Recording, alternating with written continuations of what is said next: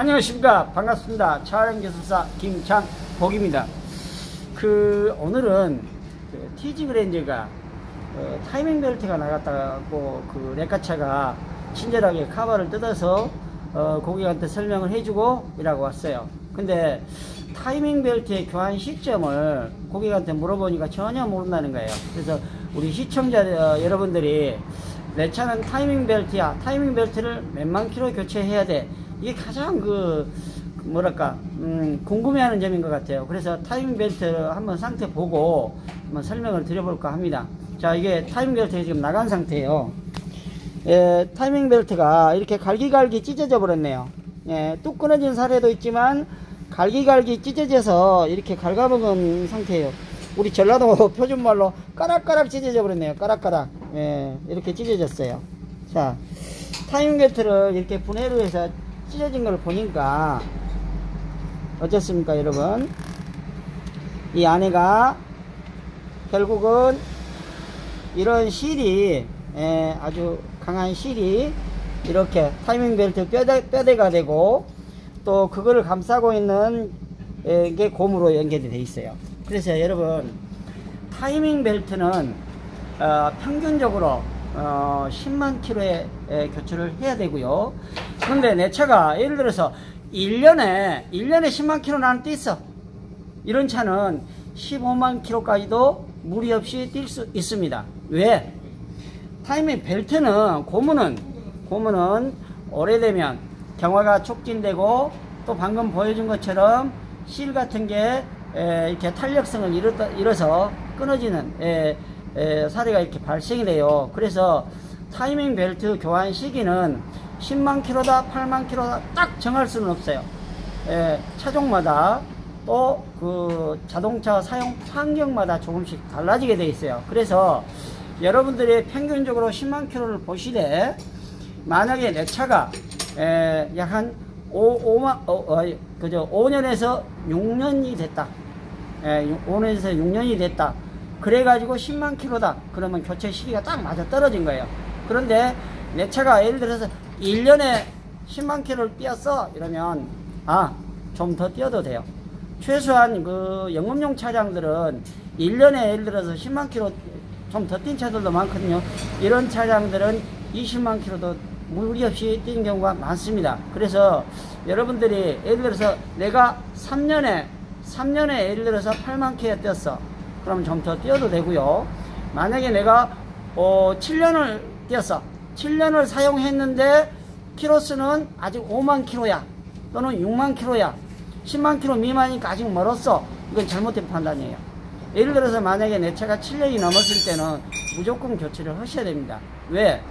에, 고무는 오랜 시간에 에, 경, 어, 시간을 경과하다 보면 경화가 촉진이 돼서 고무가 탄력성을 잃어버리게 되거든요. 그래서 여러분들이 타이밍 벨트를 이렇게 그 관리를 하실 때 또 좋은 정비업소 찾아가셔서 내 차 타이밍 벨트를 이렇게 뭐 또 혹시 예를 들어서 내 차가 한 5만 킬로 어, 저, 저 5년 됐고 예, 8만 킬로 뛰었어. 그런데 나는 급 출발을 많이 해.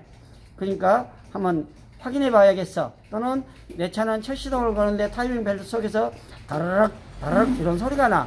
아니면 다글다글다글 하고 어, 플라스틱 단은 접촉되는 소리가 나. 그러면 혹시 타이밍 벨트의 장력을 조절해주는 auto tensioner가 불량일 수도 있어요.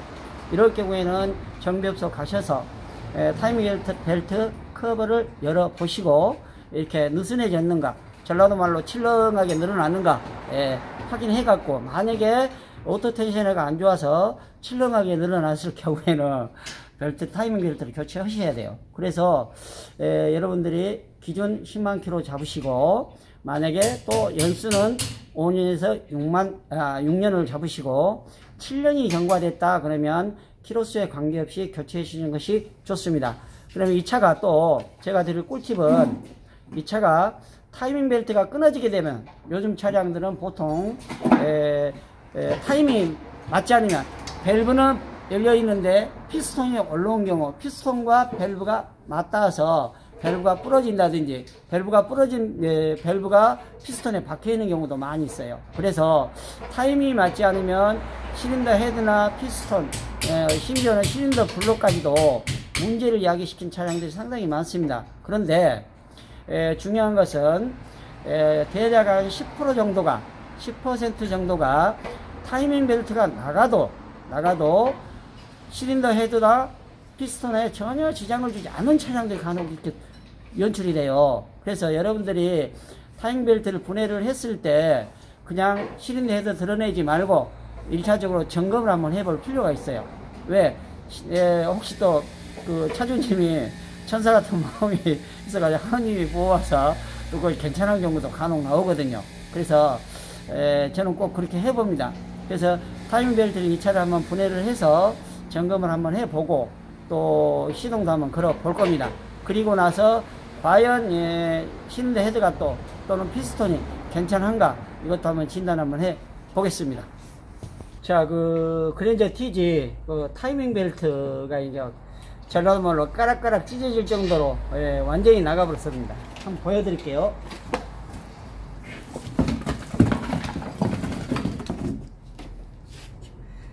타이밍 벨트가 이렇게 아주 험하게 나가버렸습니다.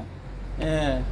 그래서 이렇게 보시면 타이밍 벨트 막 긁히고 지나간 부위 또 안에 나가가지고 막 꼬여 있는 부위 이런 게 타이밍 벨트가 아무튼 이렇게 나가버렸어요.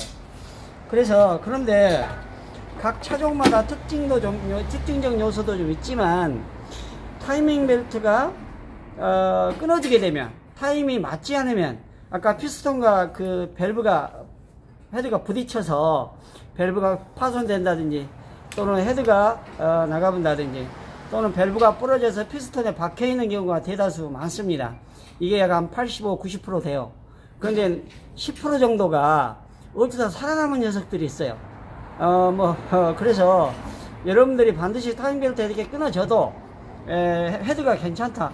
에, 또는 어, 어, 밸브가 괜찮다. 이런 판명정을 할 수 있는 이런 꿀팁을 한번 드릴게요. 근데 에, 이 차도 사실은 다른 정비업소에서 이렇게 뭐 견적이 100한 4, 50만 원 나왔어요. 헤드까지 교체를 해야 된다고.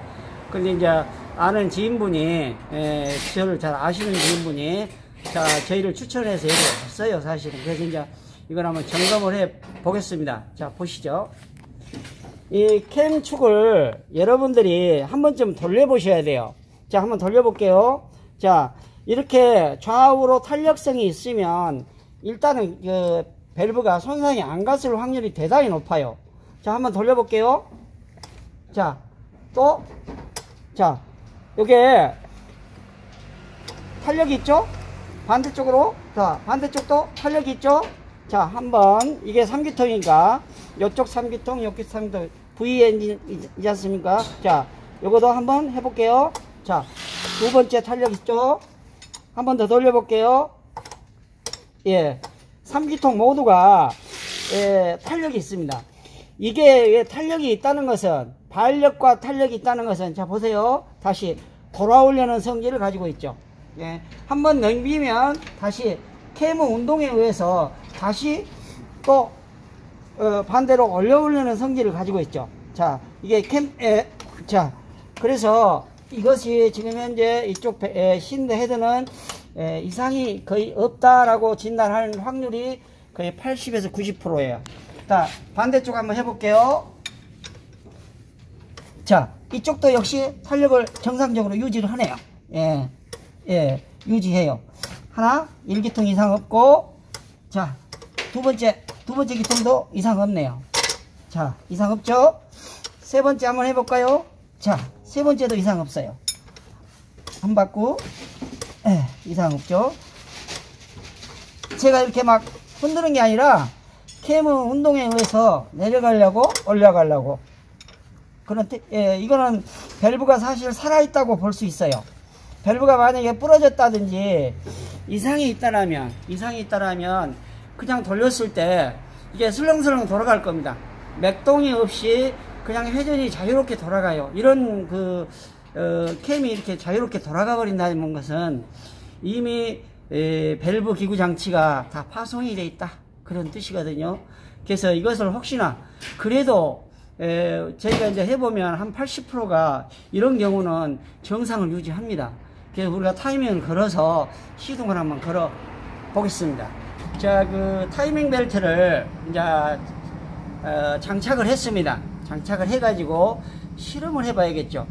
완전 조립하기 전에 실험을 해보, 해보겠습니다. 자, 한번 보시죠. 지금 타이밍 벨트를 걸어서 정상적으로 걸어서 에, 크랭크 풀리만 크랭크 풀리만 장착된 상태예요.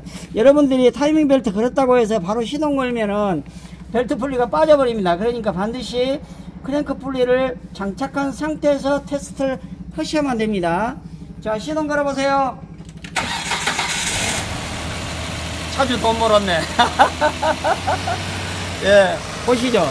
엔진의 부조 현상도 나오지 않고, 예, 시동이 원활하게 걸리고, 예, 이와 같이 차주가, 차주가, 예, 이렇게 그, 뭐, 그 전생에 죄를 하나도 안 짓다든지, 아무튼 간에 이렇게 그, 예, 다행으로, 어, 타이밍 벨트가 저렇게 까락까락 찢어져 버렸어도 예, 벨트가 밸브가 닿지 않고 상사점에서 밸브가 열린 상태에서 배기 밸브나 흡기 밸브가 열린 상태에서 피스톤이 올라와도 접촉되지 않았다는 거죠. 예, 그래서 이 차는 예, 뭐 타이밍 벨트만 교체하면 돼. 정말 운이 좋은 케이스입니다. 예, 다른 차 같으면 뭐 그냥 어, 헤드 교체, 뭐 피스톤 교체까지 이루어지는 사례가 종종 발생이 많이 됩니다. 그래서 에, 시청자 여러분들이나 또는 그, 그 뭡니까 우리 정비사님들도 에, 굳이 또 혹시나 또 어, 헤드 바로 그냥 드러내지 말고 캠축의 운동을 잘 판단해 가지고 이게 그 캠이 정상적인 맥동이 될, 에, 맥동적으로 이렇게 움직일 때, 아, 벨트가 손상되지 않았어. 이렇게 진단을 내리셔도 될것 같습니다. 감사합니다.